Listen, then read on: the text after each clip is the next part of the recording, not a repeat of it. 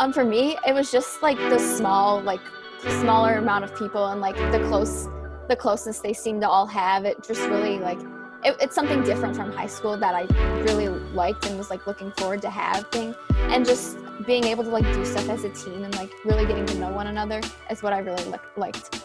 Um, right now, I plan to major in biochemistry and hopes to become a doctor down the line. So just like the professors and like what they had to offer with the research and like the different classes I could take, it just really stood out to me compared to other schools.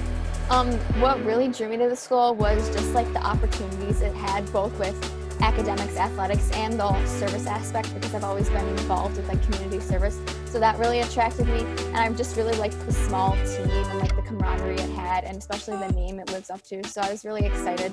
Um, it was so I never really got to meet him over per, like in person before coming here. So yesterday was the first time I like actually met him. So it was like a little weird at first, but he seems like he's a really good coach, and I'm looking forward to working with him. Um, so it was I st- I was a dancer for a really long time, and in middle school, my friends actually were like, "Oh, you should join the track team," and I was like, "I mean, I guess I'll just do it for fun." And then after the first race, I was like, "Oh, this is something I like really like." So then, as the years progressed, I was like, "Oh, this is something I definitely want to keep doing in the future and seeing where it takes me."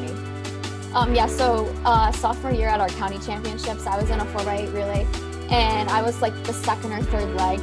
And I remember just like we were like in like third or fourth place, and my coach was like, just like go out, see what happens. And I remember with 300 to go, I like just made my move and started to pass everyone. And I remember just like when I was handing off, like I had moved our team up so much and just like felt good. And like I ended up running a PR too at the time. So it was just like very exciting to see and watch the rest of the race. Um, I really like watching like the relays, so like the four by one, four by four, even the four by eight. Just like watching everyone and like the closeness of the race it can get. It's just really like exciting and like you get just even watching it in the stands. It's just really like thrilling and just trying to see who crosses the finish line first. Um, setting a new PR, it almost it almost feels like all your hard work is paying off, and like even after coming off of like a not so good race or like it like almost like kind of like boosts your confidence and like gives you the like determination to like keep working harder and seeing what else you can accomplish down the line.